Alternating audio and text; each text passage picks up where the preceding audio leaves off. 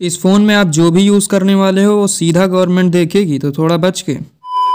तो भाई, जब से ये स्मार्टफ़ोन और टैबलेट सबको मिला है, सब यही देखना चाहते हैं कि क्या ये original Samsung Galaxy A zero three S है और टैब ए सेवन लाइट है। तो भाई, देखो बॉक्सेस तो दोनों का सेम ही है बट अंदर के माल मसाले में क्या चेंजेस है, देख लो। स्मार्टफ़ोन तो वही सेम ही है, लेकिन वही प्राइवेसी पॉलिसी और यूआई में चेंजेस हैं। यू में चेंजेस है मतलब परफॉर्मेंस भी डिग्रेड होगी डेफिनेटली क्योंकि सॉफ्टवेयर अपडेटेज जो इसमें मिलेंगे वो सैमसंग खुद नहीं देगा। यूपी डिस्को जिसको ऑन कर रही है मतलब जिसमें इसका पूरा डेटा रखा जाएगा, वही ऑन कर रही है। तो अपडेटेज वही प्रोवाइड करेगी और शायद अपडेट ना भी आए। तो जब सीधा आप इसको ऑन करेंगे तो भाई ये सीधा ही खुलेगा, जैसे सेम ये सैमसंग वाला रियल वाला फ़ोन है। तो राइट में है सैमसंग रियल वाला फ़ोन और गवर्नमेंट वाला लेफ़्ट में है। तो ऑन करोगे तो दोनों सेम ही रहेगा, सब सेम है सैमसंग फ़ोन खुलेगा। लेकिन दिक्कत तब आएगी जब आप नेट से इसको कनेक्ट करोगे। नेट से कनेक्ट करते ही ये फ़ोन रिस्टार्ट हो जाएगा और सीधा यूपी डेस्को वाले मोड में चला जाएगा।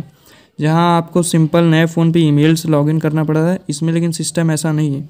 इनका नॉक्स करके कोई प्राइवेसी है, उस पर यू पी डेस्को पर आपको लॉगिन करना होगा। तो वहाँ आपका सारा डेटा कलेक्ट भी करा जाएगा और उसको मॉडिफाई भी किया जा सकता है।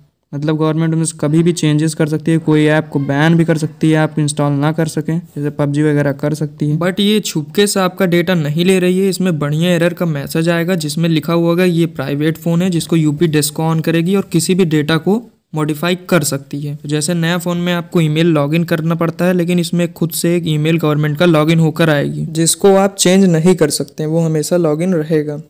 तो काफ़ी बंदे पूछ रहे थे वॉलपेपर वाला। तो भाई वॉलपेपर योगी जी का है, इसमें बढ़िया लग के आएगा जिसको आप चेंज नहीं कर सकते। चेंज करने का ऑप्शन है, लेकिन वहाँ से चेंज नहीं होगा।